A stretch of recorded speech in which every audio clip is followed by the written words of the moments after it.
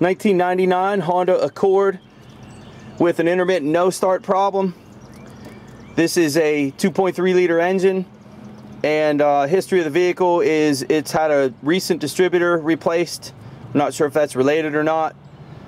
Let's go look in the scan tool now, see if we have any trouble codes. All right, gotta forgive the glare on the screen here. I'm working in the field. I'm going to my codes. My key is on. And you see we have no codes present. Let's go back, go to pending codes. We have no codes there too. Some other stuff you want to pay attention to for no starts would be anti-theft systems. And the thing is with the anti-theft, if we had an issue there, we'd have a flashing key on the dash, which we don't. And then also we'd be losing injection pulse. Another one we can look at that's a nice guide is our RPM. So crank it. See we have an RPM signal. Some other things I've shown in the past is, let's take a look at this check engine light see what it does. Turn the key off. There's my light, top left corner. I'll show it again. Key off, key on. There's a check engine light. You saw that initial key, green key, flashing right there with the key off. Nothing wrong with that as long as it doesn't stay flashing after you're cranking. So crank it over. See, we, we have no security issues. And again, on the scan tool, we had RPM. Okay, doing a real quick spark test. Hold on. Hold on, Pete. A little trigger happy on me there. I was talking to the camera, not you. All right, we're doing a real quick spark test on this Honda. I just pulled one of the plug wires off. Got my test light going to a ground on the strut and we're just gonna see if we have spark here. Go ahead and crank it. Okay, good. All right, we got spark. All right, next quick test, I'm gonna go after the injector and see if we have pulse. And what I'm gonna do is I'm gonna take my test light, connect it to battery positive, and I'm gonna go on one of the two wires here, and I'm not poking my test light into this connector, something that was pointed out to me in some other videos where it looks like I'm doing stuff like this. I'm not, I'm just laying this test light on the top of that terminal right there. All right, crank it for me. Okay, got nothing on. Okay, I'm gonna move my test light over, over to the other wire. Again, I'm just resting it there, guys. I'm not, I'm not spreading this female terminal. We'll watch our test light. Go ahead, crank it. Tough to pick that up in this sunlight. Let me get my camera closer. Go ahead, crank it.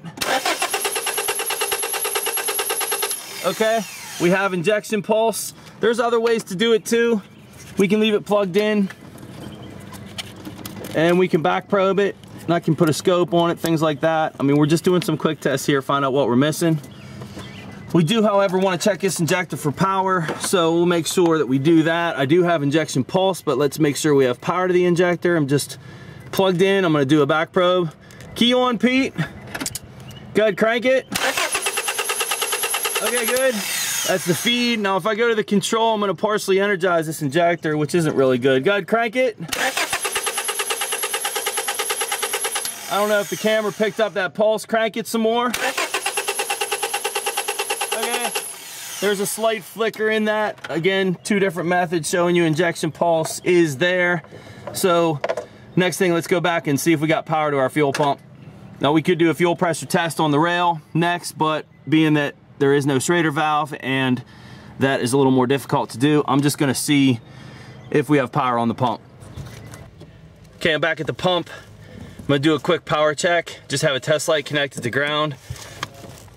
And uh, I'm gonna go to this pump power feed wire right here. And yes, I put a small hole in this wire. I will fix that when I'm finished. This is an interior wire. I'm not worried about corrosion anyway, but for you guys that hate when I do this, I understand. But I really don't have an option for where this is. Now I could take this cover off. I take that back. I could take the cover off and T-pin it. So sorry about that, guys. Okay, go ahead, crank that for me. Okay, good. All right, so you see we lost power to our fuel pump. So again, just some other tests that you can do gives you a guide, not really relevant to this car, we're missing power on our fuel pump.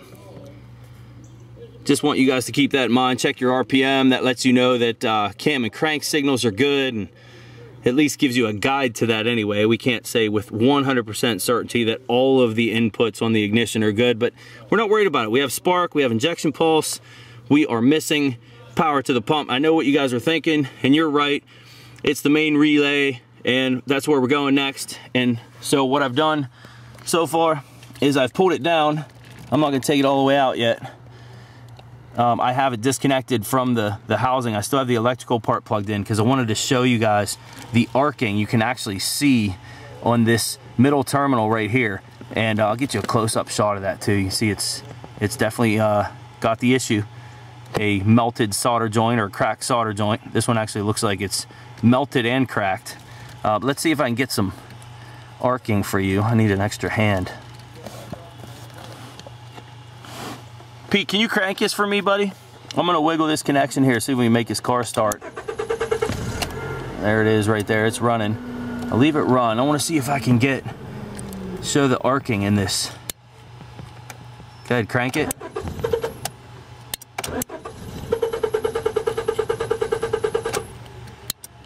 Man, I, I had some nice, I, I had some nice arcing with it before. All right, let off. Let's see if I can get that shot.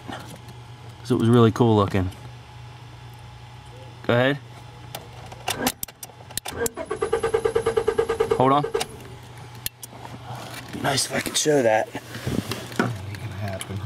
I'm gonna try. Just makes for pretty cool video, that's all. I mean, it isn't really necessary. It definitely needs the needs the fix. Just would like to see the arcing. Actually, you know what we could do is instead of cranking it, just turn the key off and back on and we'll, we'll get the fuel pump prime taking place. There it was. See if I can make it do that again. There it is again, okay?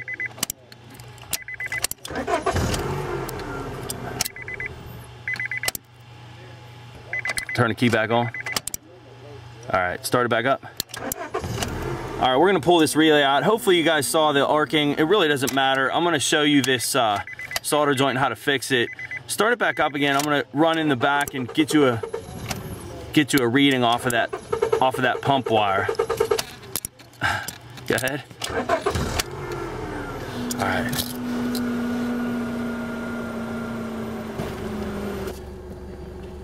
Okay, here's our same wire here's our same wire where we were before. You see I got power and that is black and yellow wire at the pump. Pretty standard Honda color. I didn't even grab a diagram. I knew it just from working on other Hondas. And yes, guys, I did put a small hole in the wire.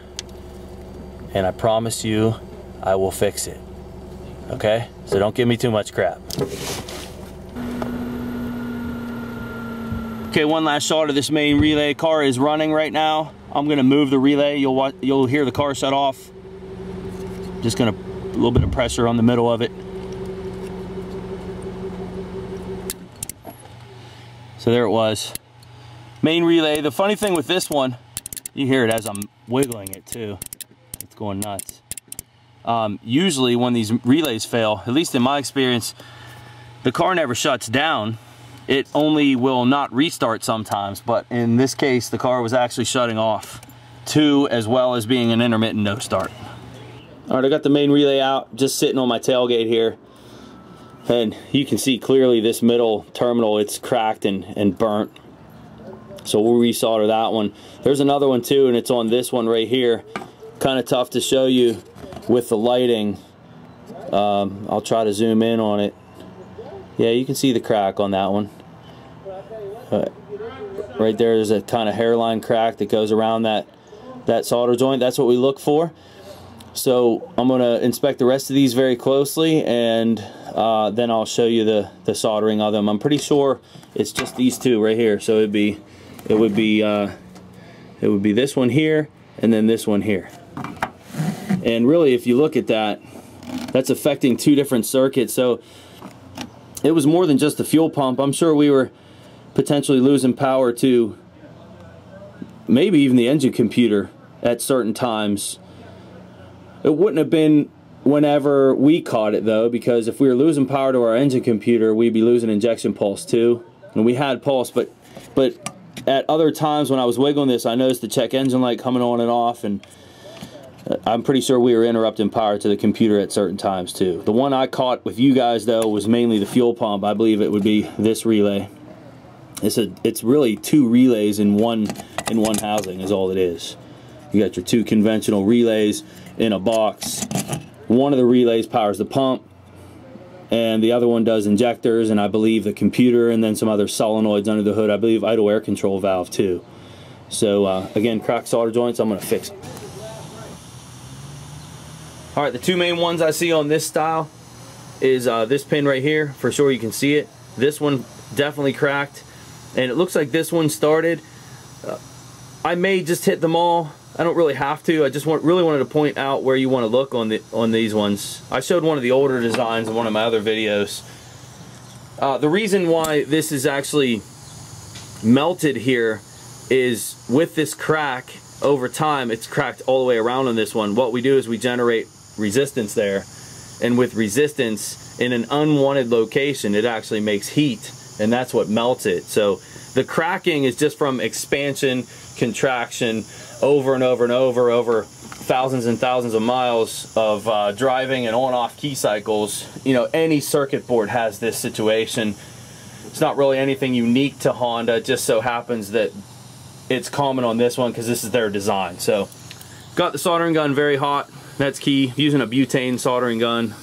Again, I'm in the field. I'm kind of in a parking lot here. Um, gonna heat the pins and the solder joint itself. And sometimes you can do this without even adding any solder at all. It's kind of hard to do here. What we want to do is we want to see that melt across the terminals. And it doesn't take much and that looks pretty ugly. I want to get a little bit more on the board itself. Just want to make sure that I have a good set on this board.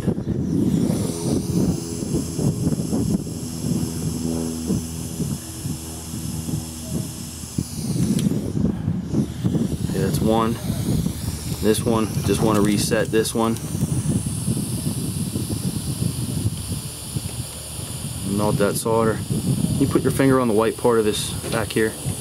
Hold that down. Thank you.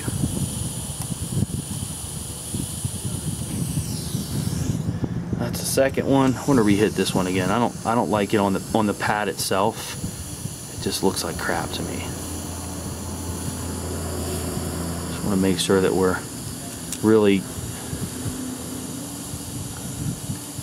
getting enough on this pad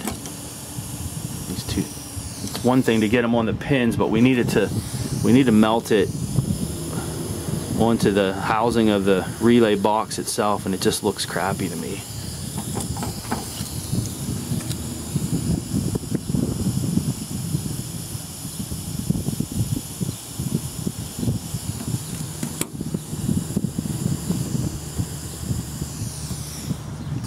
I'm gonna hit this one too.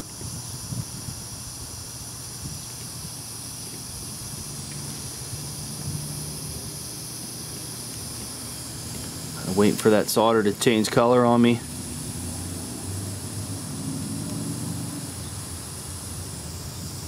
That was a good one. And I don't like this one either. I'm going to hit it anyway. I don't want to burn your finger here, Pete.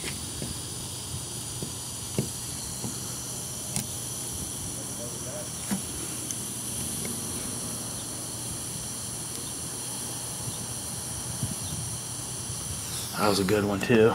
Redo that first one. It really looks bad. Let me look at that close up. That looks horrible. This one was just so badly melted. I'll try to hit it from a different angle.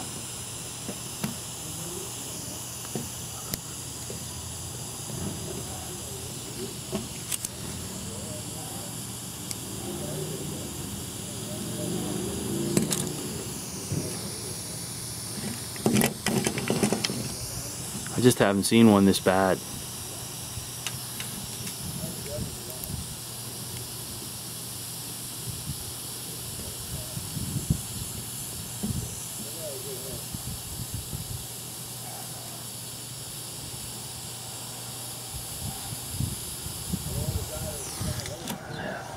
I like that a little bit better. That may be the ugliest one I've done. Go figure. But whatever, we're gonna uh, inspect these other ones real close again. I don't think I need to hit them. And then we'll put this back in the car, see what it looks like. Okay, final inspection of this.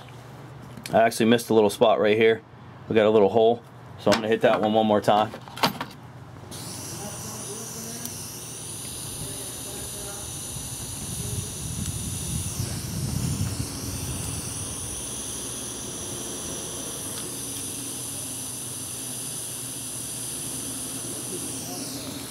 That's better.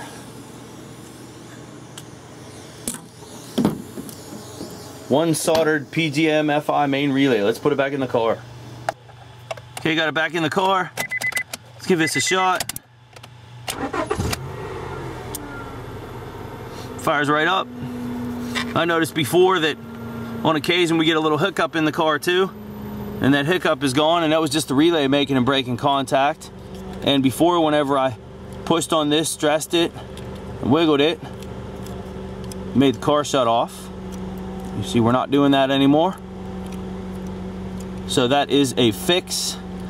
I'm gonna show you one last shot and that's where this relay is. Let's see if I can, uh, for some of you guys, wanna know where it's at and how to get it out. Uh, I think the key with this, very difficult to uh, unbolt some of these so what we always do in the field is we just take the uh, guts out of it. There's just two little plastic clips that hold it. One here and one here. All you do is take a pocket screwdriver and uh, pry out this way and this way and pop the whole thing out.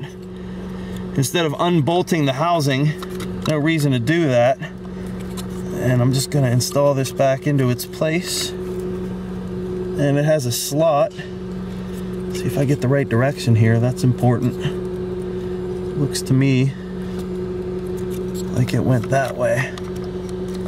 There's like slots in the housing.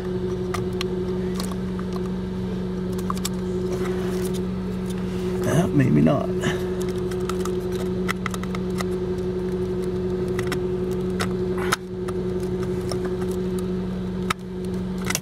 Nope. That was right in the first place. it goes that way. Only goes one way, guys. I'm pushing it back in. One repaired PGM FI main relay.